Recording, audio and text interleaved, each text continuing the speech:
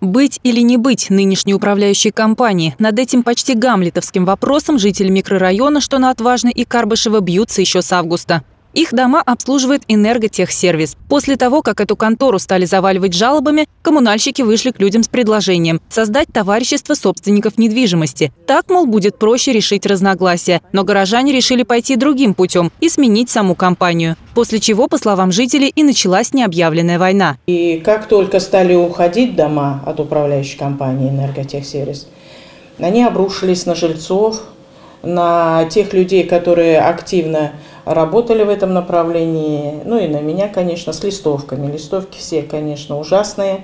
Какие все плохие управляющие компании, какая хорошая вот наша энерготехсервис. Они на сегодняшний день пытаются э, сделать свои реестры голосования, тоже ходят по домам, хотя не имеют этого права. Претензии к управляющей компании возникли, когда жители внимательно изучили квитанции и сравнили данные с показаниями счетчиков. Вот, например, за май мы переплатили столько гигакалорий, вот, в июне столько, а потом они не работают строго по счетчику, понимаете? Они что хотят, то творят. Председатель Совета дома Людмила Помогайбина уверена, люди переплатили по ее подсчетам больше 300 тысяч рублей. Они уже сообщили об этом в Государственную жилищную инспекцию и прокуратуру. После того, как жилинспекции пришел ответ, что это они делают незаконно, в этом месяце эту строку они убрали. В управляющей компании другая точка зрения. Ее директор Антон Кондратьев уверяет, конфликт спровоцировали люди, которые заинтересованы в том, чтобы дома обслуживала другая фирма.